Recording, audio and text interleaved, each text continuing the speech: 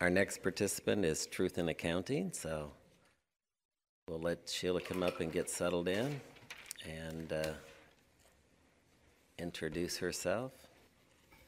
Good morning. Good And morning. thank you for your efforts to bring transparency and accountability to state and local governments. I do have a cheering I was going to say, it sounds like you got a cheering crowd out there. It's a very impressive.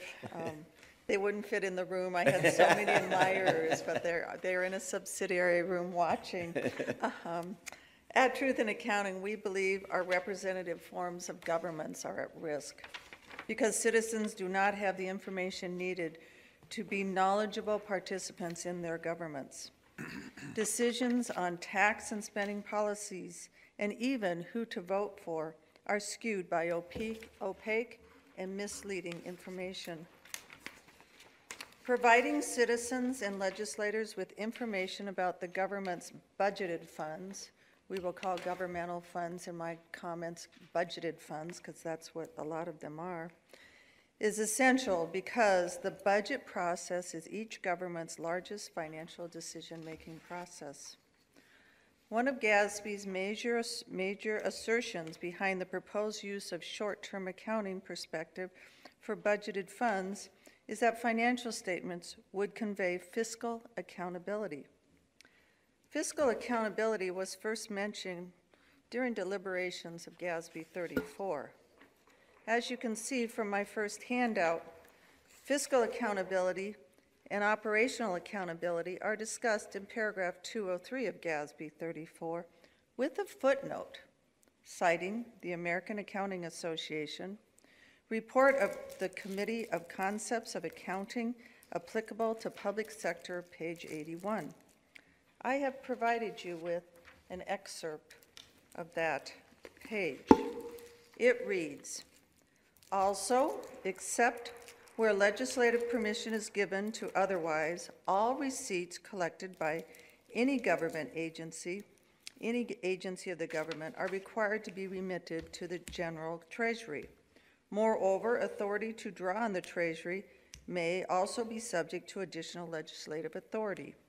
Thus, responsible officials are accountable for all monies flowing into and out of their custody, and proper accounting will disclose such inflows.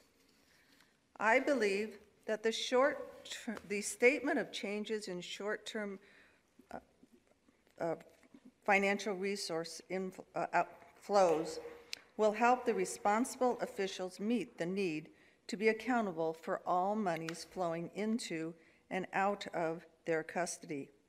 But the fiscal accountability definition is much broader. If you lift, you'll have to tear it off. If you lift the um, black portion of the document, you will, you will find the full discussion of fiscal accountability. It reads, by far, the most, the dominant concept of accountability as practiced in government today is fiscal accountability. At every level of government, rules and policies are established to ensure dollar honesty and integrity in fiscal affairs. No funds can be spent except in consequence of legal authority. Moreover, no government administrator can enter into an agreement, place an order, or otherwise commit the government to a payment of funds without legislative authority to do so. Consequently, the accounting system is charged with keeping record of all legal authorities as well as all commitments, agreements, encumbrances, obligations, and expenditures that are used, that use any portion of the authorities granted. The third paragraph states, fiscal accountability is essential through a periodic reporting of account balances and other financial information to appropriate authorities. These reports may disclose the status of the funds, amounts collected, amounts obligated or expended, the status of expendable assets, and claims against those assets and other such information. In cases where revenues are earned as a result of certain activities, financial reports may also include income and expense statements, as well as a formal balance sheet containing both expendable and non-expendable assets, as well as long-term debt. This broader definition highlights other information the users need to know about the budgeted funds, such as long-term debt, including all legal authority, as well as all commitments and obligations. As mentioned, users of the budgeted fund statements need periodic reporting of the status of the funds, amounts obligated, and the claims against those assets. Therefore, the users of the budgeted fund statements need to know all of the claims against the assets of budgeted funds, including the commitments and obligations the budgeted funds will ultimately pay. Notice the last paragraph uses the term expenses instead of expenditures, and long-term debt is mentioned. Users of the budgeted statements need information about the short-term and long-term consequences of budget decisions at the fund level. While the long-term consequences are reported on the government-wide statements, unfortunately, governments do not budget on a government-wide basis. They budget on a fund basis. Therefore, the broader definition of fiscal accountability should be in- incorporated in the accounting for budgeted fund statements. That is why we strongly advocate, are advocating for full accrual balance sheet and statements of activities at the fund level. We have found numerous instances where elected, elected officials and even government financial officers point to general fund balances reported as evidence of their government's financial health. I have provided you with a article about the Chicago Public Schools that was published on January 29, 2019. The headline says CPS finishes year with, um, with surplus as CTU talks go on. The second paragraph starts, "The district ended the 2018 fiscal year with a $324 million left over in CPS's general operating fund. For the first time in three years, that fund has concluded in the red." I am certain that if, if that the general fund has money left over, it is because the government did not adequately fund the pensions and OPEB benefits the employees earned and the government incurred during the year. Under the proposed financial reporting model, the general fund most likely in the audited financial statements would also show a positive general fund balance. Users of the general fund statements would not be able to tell the pension and OPEB liabilities that were not adequately funded. Users would not be able to see that the amount of pen- pensions and OPEB debt that would have to be paid out of the general fund. Truth in Accounting's latest analysis of CPS indicates that CPS has $12.4 billion of unfunded pension debt and $2.2 billion of unfunded OPEB debt that will not be reported on the general fund's balance sheet.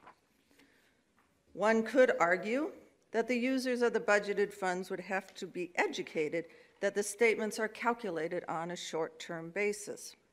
But under the proposed financial reporting model, the only general fund balance calculated will be the one under the short-term perspective.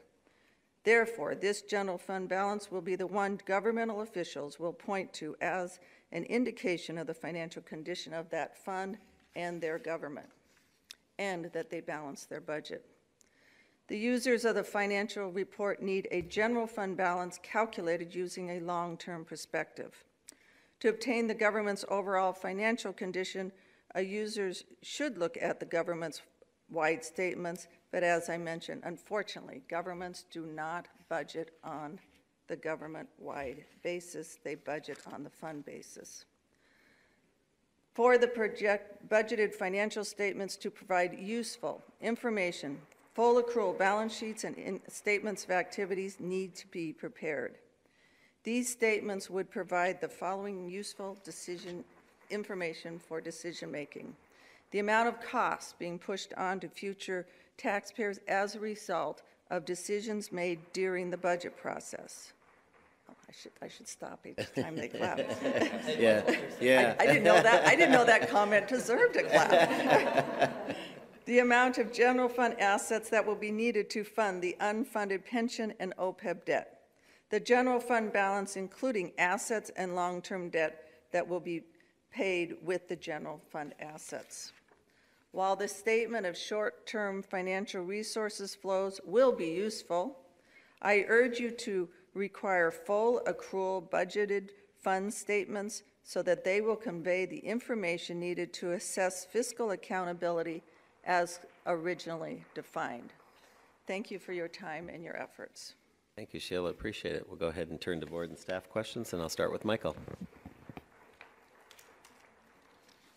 Uh, o- One can hypothesize that the reason um, governments and and users don't make much use of the government-wide statements is that it includes uh, infrastructure assets, which overwhelms e- everything else. Um, Unfortunately, if you're going to go to a full accrual basis, you can't um, just include the liabilities. You've got to include the assets as well. So it seems to me on a full accrual basis, you now have to include all of the infrastructure assets, uh, which would be valued at historical cost and less depreciation, a- a figure which seems to me is totally useless for most decisions. Therefore, the fund balance would be equally useful, useless. Wouldn't that result, therefore, in governments ignoring those fund statements for budgeting purposes, just as they ignore the government-wide statements for uh, budgeting purposes? Thank you for your comment. Uh, What we would foresee as with the government-wide statements, an unrestricted asset number would be calculated under this model, and the model we're proposing. And that is, we, we, we call that the magic number, um, unrestricted assets. It represents the amount of, if it's a negative balance, the amount of prior costs that are being pushed on to future taxpayers. So while the assets would be there, there would be a general fund balance with those, there would also be that unrestricted asset amount um, that would be very valuable in knowing how much prior costs will be pushed on to future uh, So taxpayers. in other words, there would be, in effect, a short-term fund balance as well. Is that right? And that, the un- the unrestricted amount would essentially be a, a shorter-term balance or not? Again, it would, what we would envision is um, that when you add up all the fund statements and you do some eliminating entries, they would equal, those accumulations would equal um, the government-wide statement. um, at- So they would mirror those statements. And, and I do agree with your, um, I do agree with, you mentioned that, um, you know, what, what, ro- I'm a CPA myself, an AICPA member. What role do CPAs um, play in this and play in government's financial um, situation?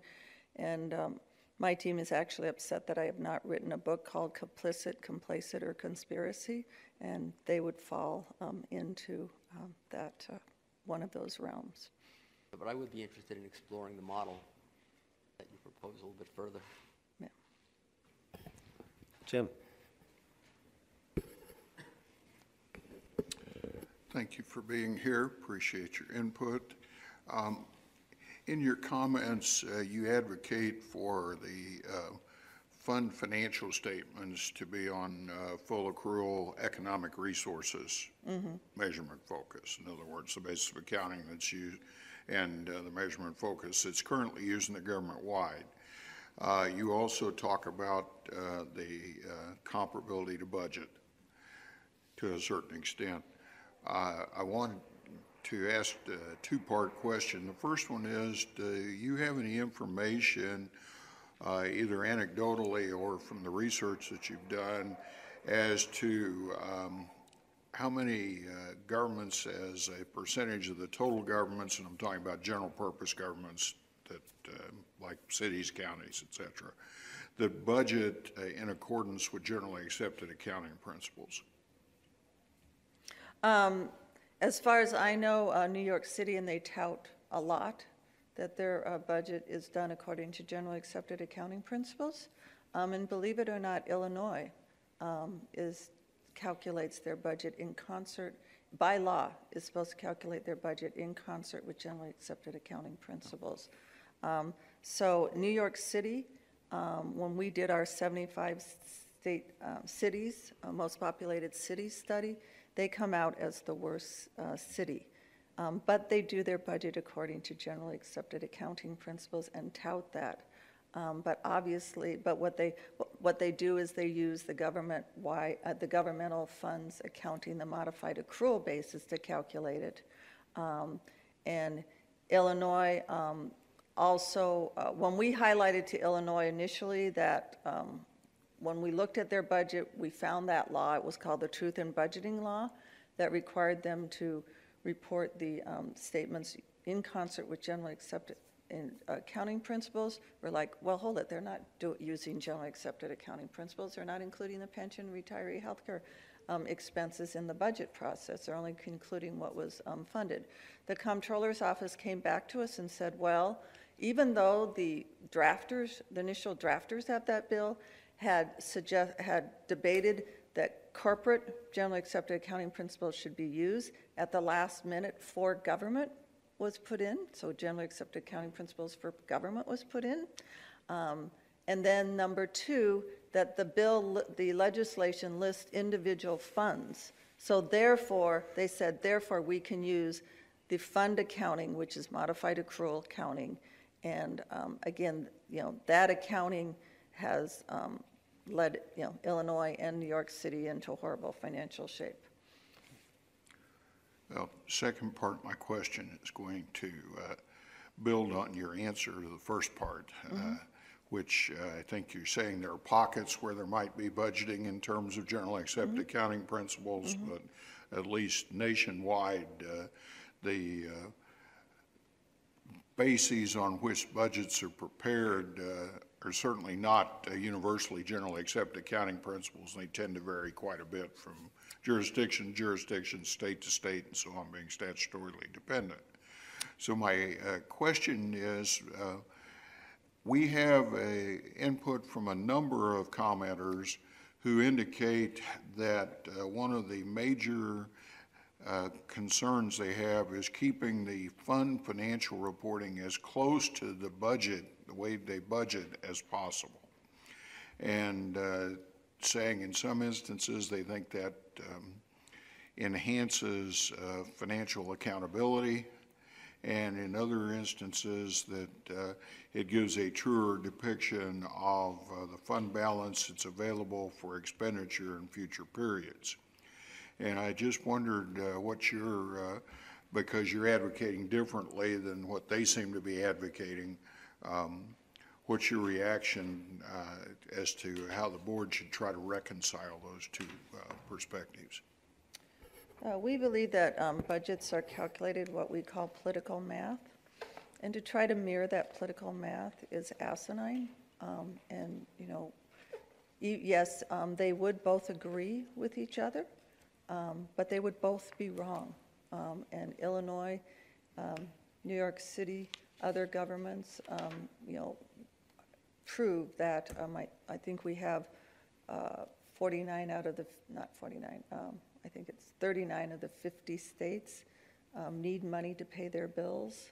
And I think that those poor budgeting practices then that are mirrored in the, um, in the accounting um, is, is part of, is part of the is the reason for that, is because they have been able to take these costs and push them on to future taxpayers, and they have, um, um, n- and the financial statements have not pointed that out. Um, And, and financial statements shouldn't mirror the wrong accounting, they should mirror reality. David? Thank you oh, and I'm sorry, uh, sorry, David. And, you know, one of their, their rationale is for, again, for fiscal accountability. And as defined in the ITC fiscal accountability, was looking at the short-term perspective, and as I noted in my original, in my oral testimony here, that is not what a fiscal accountability means. That term was hijacked to justify the use of short-term um, accounting. Thank you.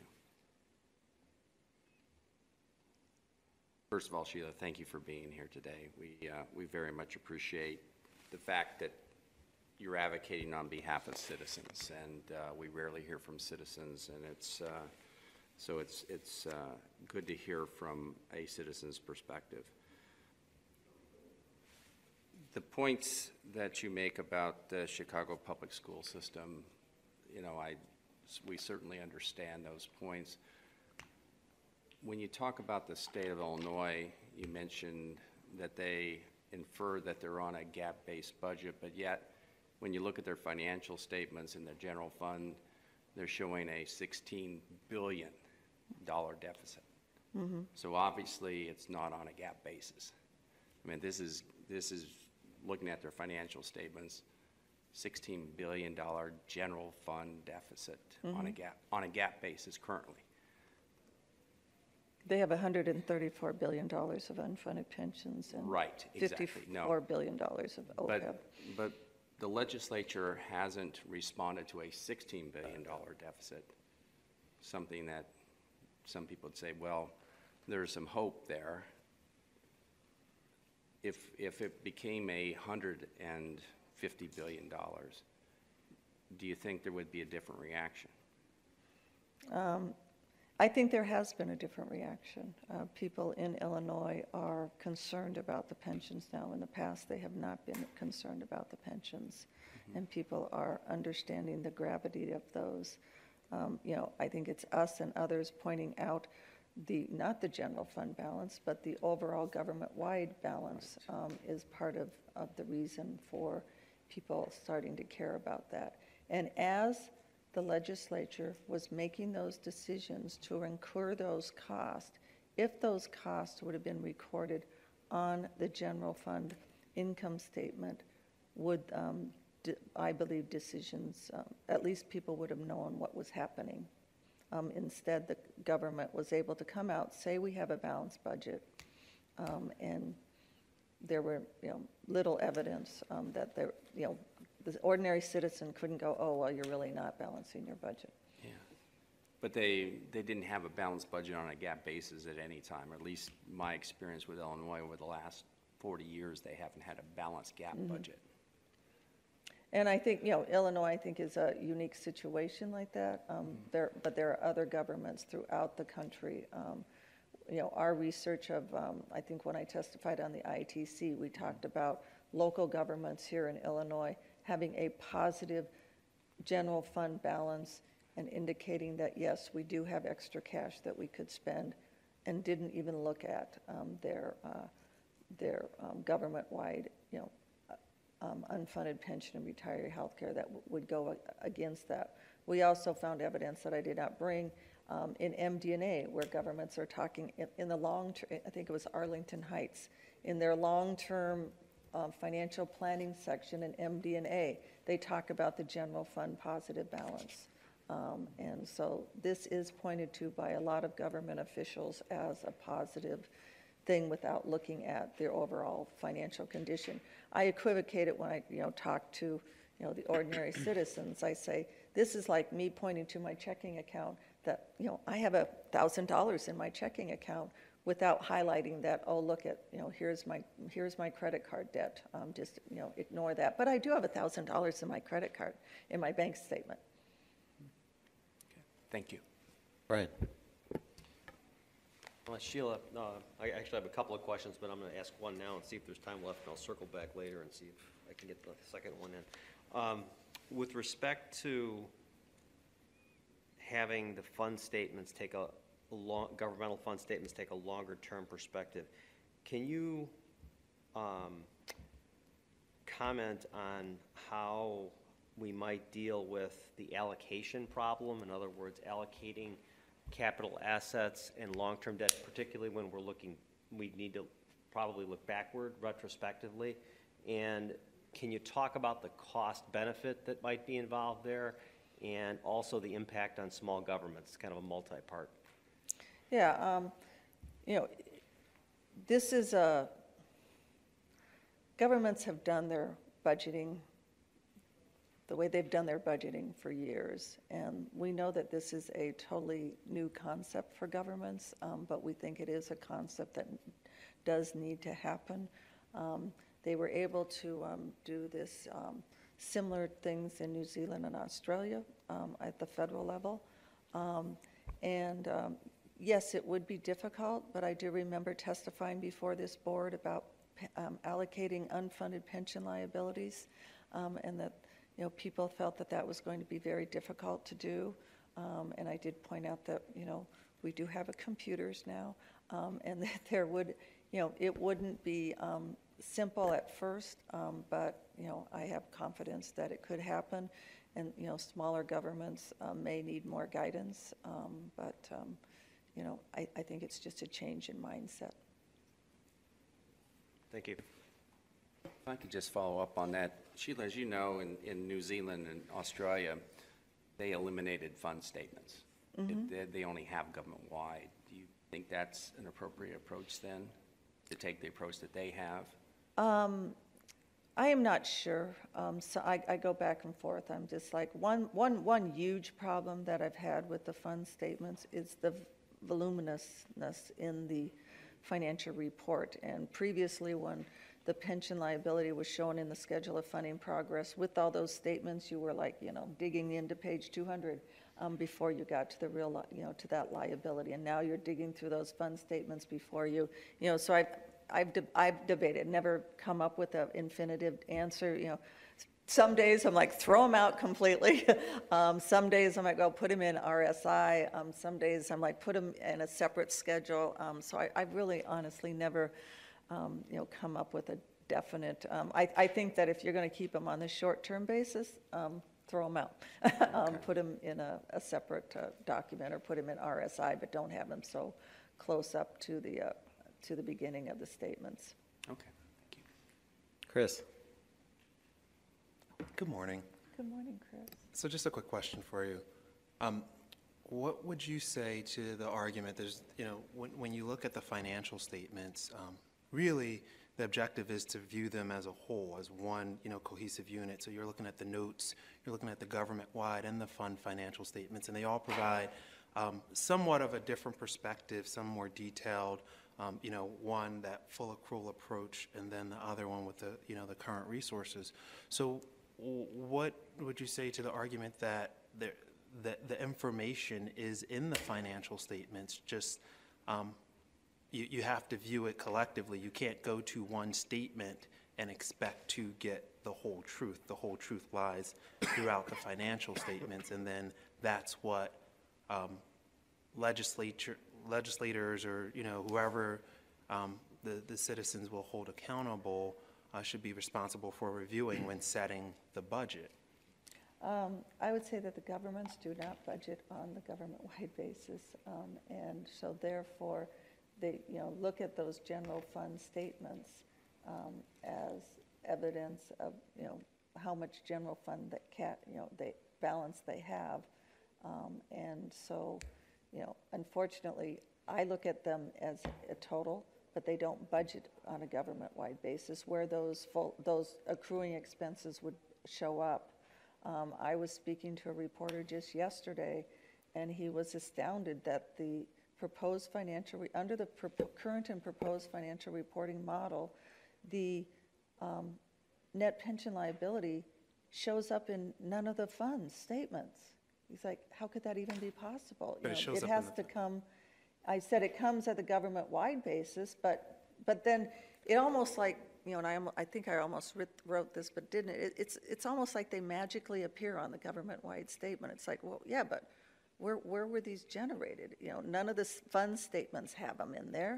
Um, You know, what, what, what fund um, created these? What budget decision uh, created these? Um, You know, where, where did these, these net pension liabilities mysteriously appear from? They're just all of a sudden on the government-wide statement.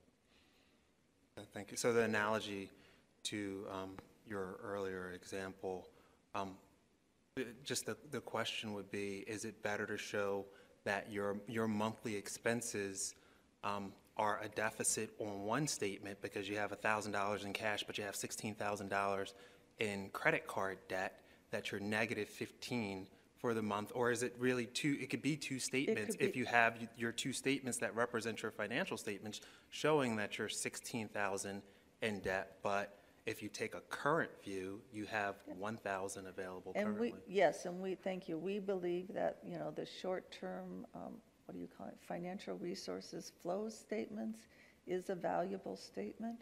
And we're not saying do not prepare that statement, we're saying go ahead and provide users with both perspective. The short-term perspective, they need that.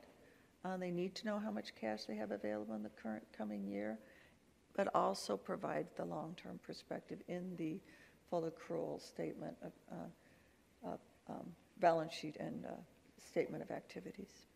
Thank you. Okay, well, regretfully, we're out of time, but Sheila, thank you so much for coming to share your thoughts and perspectives. We truly appreciate you taking the time. Thank you so you. much.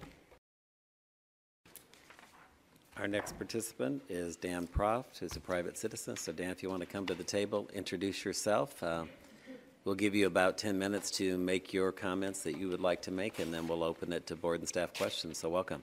Thank you very much, appreciate it. Uh, As you mentioned, I'm a private citizen. I'm on the Board of Truth in Accounting. Uh, I have some background in municipal government. I was a city manager for a South suburban community for a time, worked in municipal and state government. So what I've uh, about to say has, um, uh, it's not reflective of any antagonism towards government. Um, but you know i've worked in government and i'm a wonderful guy so there's nothing that's antagonistic towards people who work in government but there is something that's problematic in truth in accounting we're interested in fact-based budgeting and uh, it's not fact-based budgeting when you budget only looking at the balance in your checking account and not the balance on your credit card and that's what we've been doing in illinois at the municipal level and the state level as long as I've been an adult in this state. And it's why Illinois has the largest, in part, the phony baloney accounting, is why people don't appreciate the peril Illinois faces with the largest unfunded pension and healthcare liabilities in the country. Uh, It's why there was the need for an intercept law, because municipalities were trying to play some of the same games that the state was, has been playing for lo these many years to avoid obligations they're incurring in real time because they can't finance it. And all you have to do is ask Evanston or Harvey or North Chicago about the public safety officers and, and employees that they've had to lay off because of the rubber meeting the road when it comes to math. So my uh, perspective here, speaking as a layman, is just to suggest that anybody in a position to end the fraud that is being perpetrated on taxpayers and business owners in this state should do whatever they can in furtherance of that laudable goal. New York City and Illinois have laws that require the legislators to calculate its balanced budget using generally accepted accounting principles of government. And the fact is, the state of Illinois hasn't had a truly balanced budget since before the White Sox won the World Series, no matter what the Constitution says. Because the budget is done at the fund level, these governments have used the modified accrued, uh, uh, modified accrued accounting standards used to prepare budgeted funds financial statements. This method is so flawed, New York City has accumulated $60 billion in unfunded pension benefits, $95 billion in unfunded retiree health care debt. Illinois has accumulated 134 billion in unfunded pension benefits and 52 billion in unfunded retiree health care costs, at least that's our calculation. If only the short-term perspective is used to prepare the budgeted fund statements, government officials will continue to uh, make claims of balancing their budgets according to generally accepted accounting principles while incurring billions of dollars of debt which will be passed on to future taxpayers. And I know you've heard from legislators, current and former, on this topic, including legislators who are also accounting professionals in their private lives, like former State Senator Steve Rauschenberger, like former State Representative Jeanne Ives. We know that they'll do this. I mean, you don't have to, you know, this isn't like a laboratory experiment. This story in the Sun Times this year. CPS finishes, Chicago Public Schools finishes year with surplus as CTU, the teachers union, talks get going. CPS, and this is, you know, how people understand what's happening in government is through the media, right? CPS reported that in 2018, 2018 fiscal year, they uh, uh, wound up with three, $324 million left over in their general operating fund. So you read this story as a layman and you say, oh, well, CPS is running budget surpluses.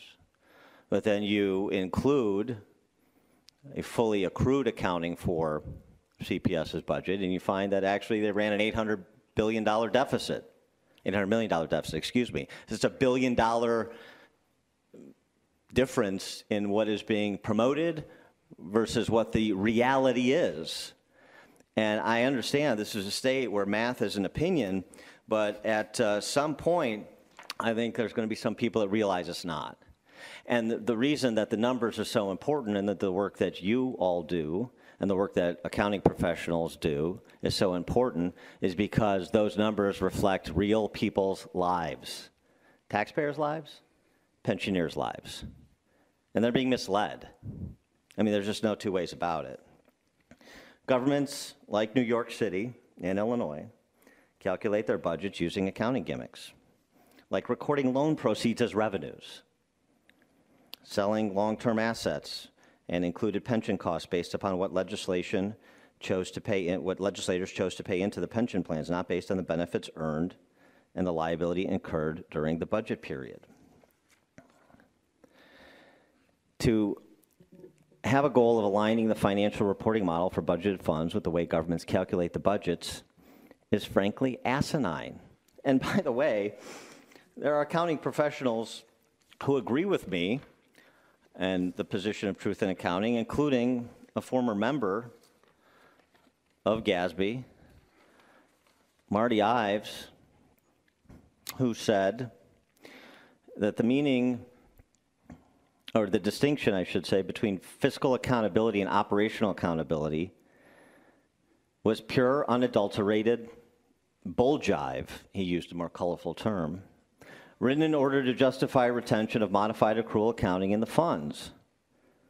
I understand the meaning of budgetary accountability, and I've always felt that it was appropriate for the GASB to require preparation of a budgetary comparison statement as well as a statement comparing actual results on a budget basis with actual results on the accrual basis. And this is uh, somebody who served on this body for 10 years. So I, am you know, a little bit stumped, frankly. I'm not assigning blame, I'm just sort of you know, talking openly about it. A little stumped as to what the confusion is.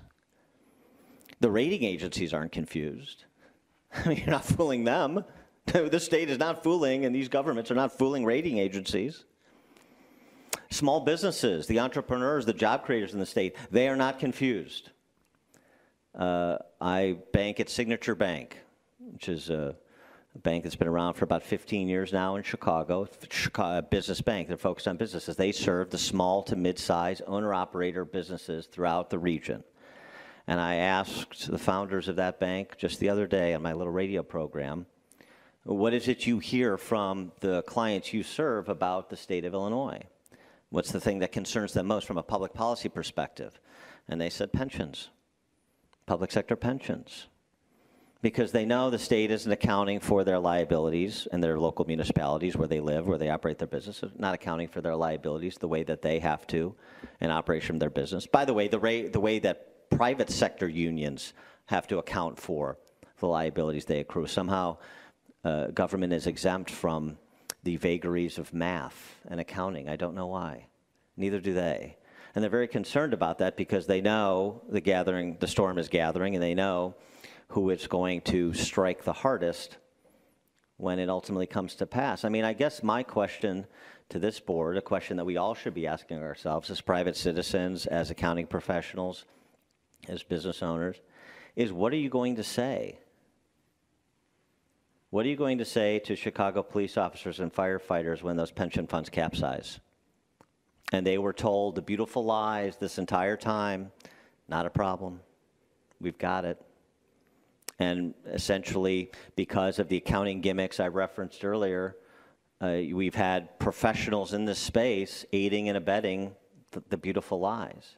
Chicago Police and pension funds are both less than 25% funded, as most of you probably know. They're death spiraling. And uh, there is not the seriousness to address these public policy problems in the political and policy arenas because there are just not enough people holding the policymakers' feet to the fire. And it's not simply the job of accounting and financial professionals, of course, there's only so much people can do. Um, but there are things that can be done from this sector to demand more accountability so that people understand what's happening, the size and scope of the problem, to facilitate a sort of debate that produces solutions that measure up to the size and scope of these problems. That is not happening. Uh, So, uh, what are you going to tell police officers and firefighters when those pension funds capsize and people get IOUs in the mail instead of checks, pension checks they relied on? They held up their end. Why isn't the state or their municipality, uh, the municipality that employed them, why do they get to not hold up their end?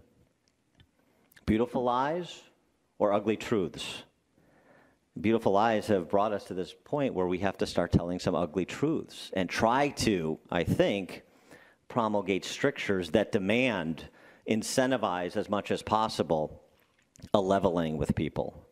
That hasn't happened for many, many moons. And Booker T. Washington was fond of saying that uh, you can call right wrong and you can call evil good. It doesn't make it so just because the majority agrees.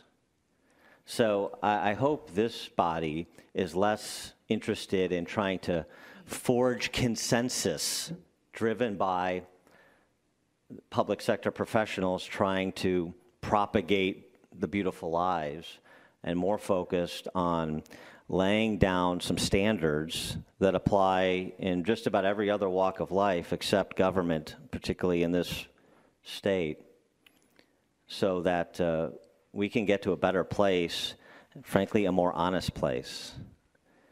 You know, accounting professionals can live in these silos and uh, sort of do the innocent bystander routine that is very popular here. Or they can be at the tip of the spear driving solutions based on the principles that are otherwise advanced, the standards that are otherwise set, in all of those other walks of life. Thank you very much. Thank you. Appreciate your comments, and we'll turn to board and staff questions, and I'll start with Michael. As one who's generally sympathetic with much of what you said, let me suggest that accountants often get a bad rap. Welcome to the club. Let me go back to many years ago when New York City was having its fiscal problems. I used to go on the subway every morning, and the train would stop at 86th Street, and all the investment bankers from uh, the Upper East Side would get on. Then stop at Grand Central, and the investment bankers from, uh, from Westchester would get on. Then between 42nd Street and 14th Street, it would always get stuck every day, and it was hot as hell in the summertime. Now, what were these guys thinking? What were these investment bankers thinking? Didn't it occur to them that maybe the city was in financial trouble because they couldn't repair the subways? Or in Detroit, when it took an hour to get EMS out there, weren't these people thinking that maybe Detroit was, was in bad fiscal shape? So the point is that the information was there. Now, with respect to accounting, you know, the financial statements always revealed the, uh, the pension liability. It may not have been computed as, as well as it should have been, but basically it was there. In other words, all the information was there. Academic research indicates, with respect to the stock market, that if the information is there, it doesn't matter where it is. People know about it, and it doesn't affect, the, th- they take it into account. So here's my question. Let's suppose that we did reveal this, the long-term information in the financial statements. Would it change any decisions, given that people already have this information? Ye- Yeah, I think, I think it would, and, and I go back to just this one example, but there are many more. This coverage in the Sun-Times of uh, CPS's budget surplus. Um, I think it would because you don't have to look for, oh, by the way, I mean, just in terms of since we're, you know, assigning blame and people get, uh, I mean, you know, journalists not necessarily always um, the most dogged, not necessarily the uh, greatest self, self-starters. They are, you know, they are spoon-fed from agencies, units of government that had a particular interest in, in, in spinning a particular narrative. And sometimes they don't ask the secondary and tertiary questions they should ask too. So I mean, there's uh, there's plenty of blame to go around, number one. And number two, I'm not suggesting that fact-based accounting is a panacea. And I'm not suggesting that everybody who's not paying attention now will suddenly pay attention. I'm not suggesting that at all. But I think you uh, make it more difficult to engage in this legerdemain that you see on, in newspapers like the Sun-Times and Tribune and others too. I think it's just a more complete and compelled reckoning with the financial reality for these units of government than you're otherwise getting with sort of the funds here and the general. And, and so why not, why not hold government to the same standards that uh, the private corporations are held to?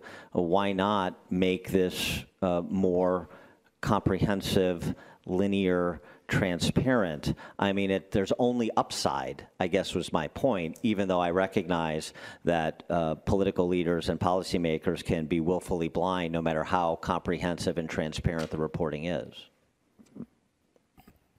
David Bean. Thank you, Mr. Chairman. And thank you for uh, taking the time to testify today. Um, A couple times you've mentioned holding governments accountable to the same level as the private sector. As, as you all know, in the private sector, they only have entity-wide financial statements. They don't have detailed fund financial statements. Right. And at the entity-wide level, the pension liabilities there, the OPEB liabilities there, all the, all the concerns that you're talking about are in our government-wide financial statements. And I guess the question is, is that's the, the basically same type of information you would see in the, in the private sector. Why aren't people focusing in on that information from your perspective? Well, I mean, I, I, I- again, I think um, you're allowed to present half the, well, you're allowed, because of the bifurcation, you have governments that present half the picture. And so, were that to change, then it would provide uh, greater demand to present the whole picture. I mean, what, I, I guess I, I would put this back on you too, if I'm allowed to No. query you.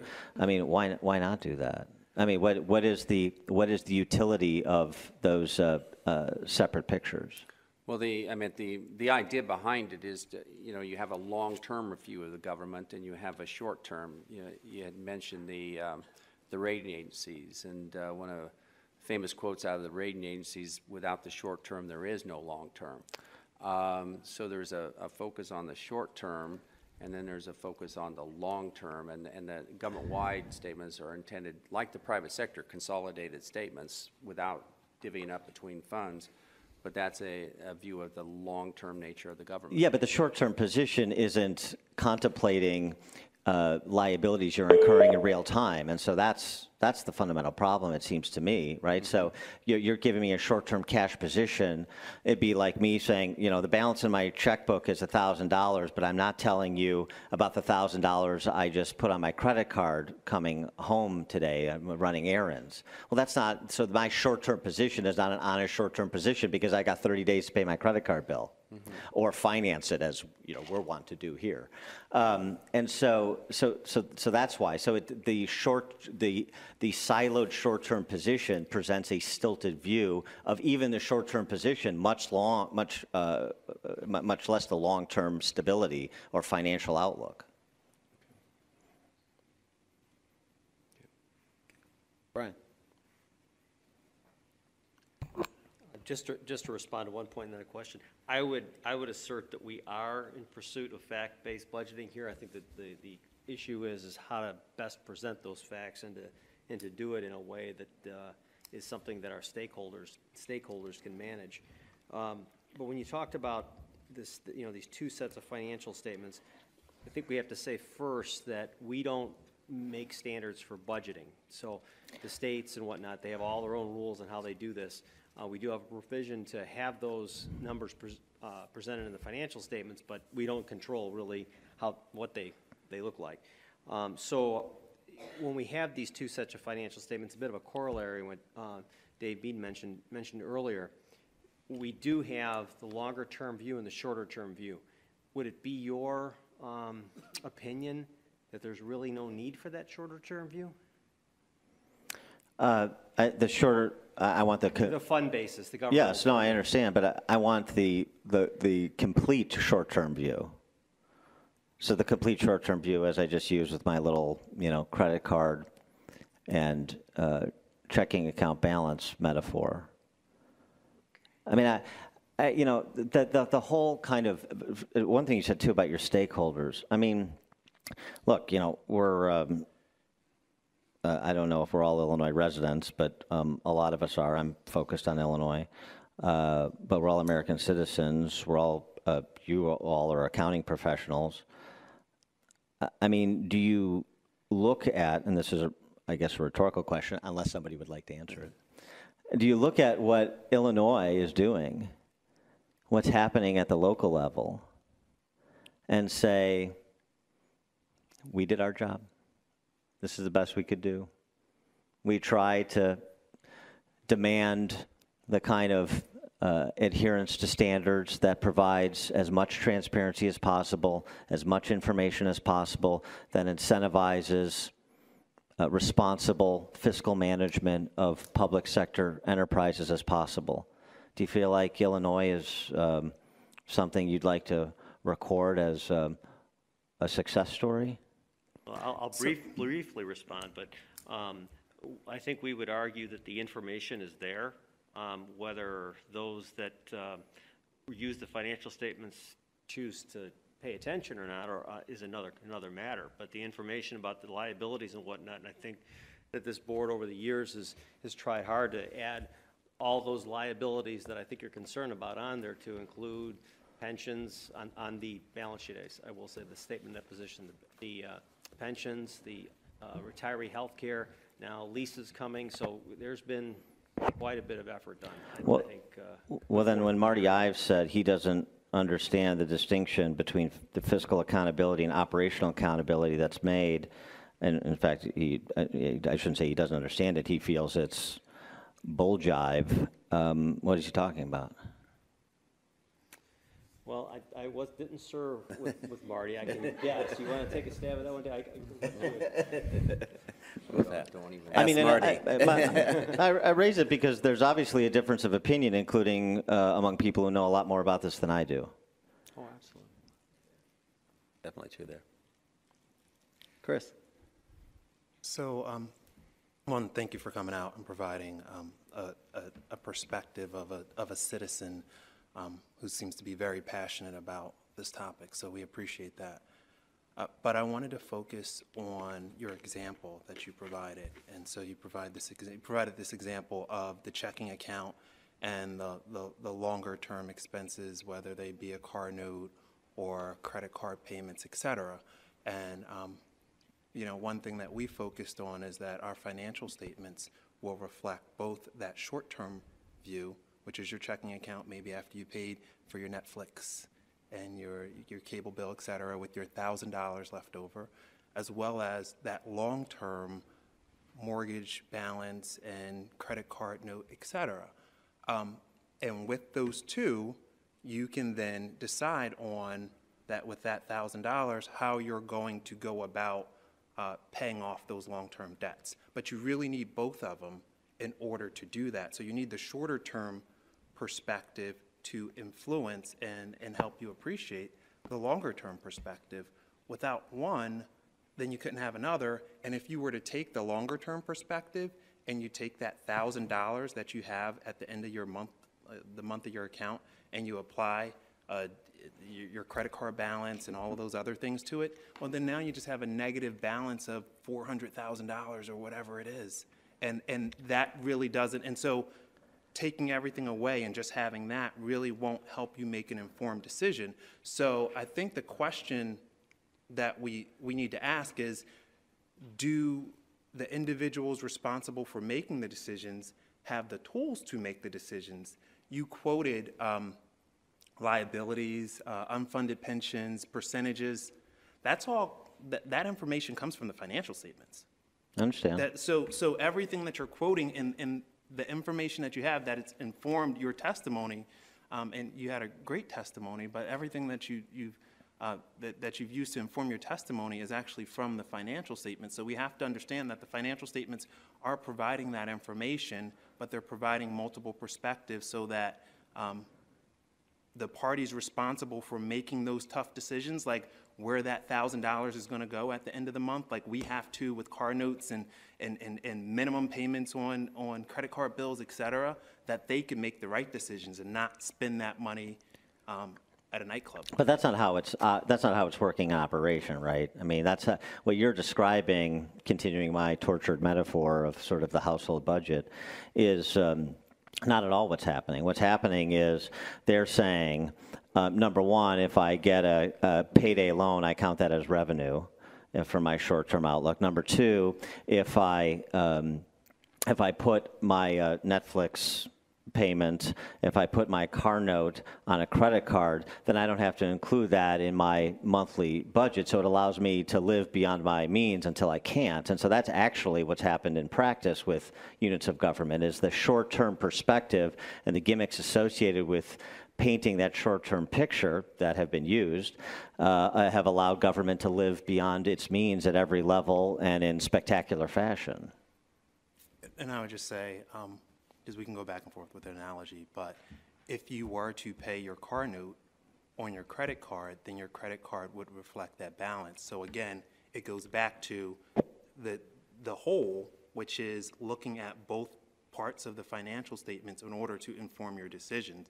So I understand what you're saying. If we want to look at one piece of the financial statements, and if, if someone would argue that the funds are flawed because there's certain information that is not reflected in the fund, funds, that's very fair, but the point here is to say that the funds should be viewed in, in conjunction with those government-wide financial statements and the footnotes all together in order to give somebody a complete perspective. Yeah, no, I appreciate that, and I, pre- I mean, I, I get the sort of gestalt argument you're making about uh, all of the financial disclosures. Uh, and, and, and by the way, that this is not just the only, this is not the only sort of accounting gimmick, as I've referenced a couple times. Uh, you know, the politicians use uh, when you count debt as revenue. That's another gimmick, and as you say, that should be reflected, and sometimes it's miscast and so forth. But I, I just think that any advance to tighten up the picture uh, to uh, operate, by the way, as the General Assembly attempted to do back in the mid 90s, and even Steve Rauschenberger didn't appreciate at the time that a wording change allowed for sort of uh, a loophole in what uh, he and other legislators were trying to accomplish with respect to government accounting. Um, that I, I, I just I, I don't really understand what the downside is to presenting a fuller picture uh, in a more uh, succinct way uh, so that, again, there's less opportunity for the fun with numbers that political leaders and, and policymakers have. That's all. David?